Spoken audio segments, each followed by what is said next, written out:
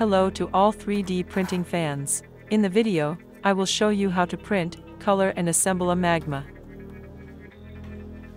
Use standard settings for PLA material.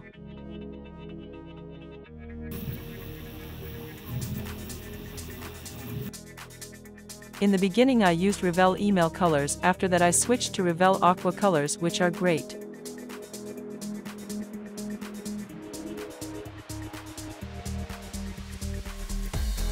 I glued all the parts together with silicone glue.